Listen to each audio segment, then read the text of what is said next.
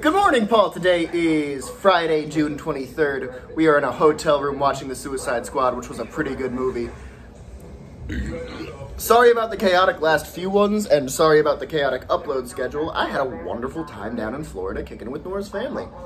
We did a riverboat tour this morning. I saw so many gators. I'm gonna send pictures at some point, but I don't even know if I have all of them. Nora, did you get the pictures? Beans.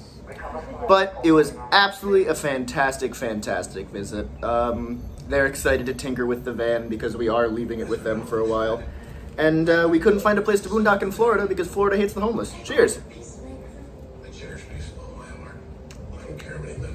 Got another pre-made salad. Just easier. And as much as I like the peppers, and as much as I do feel that gives me a good boost of health, sometimes I actually need a salad.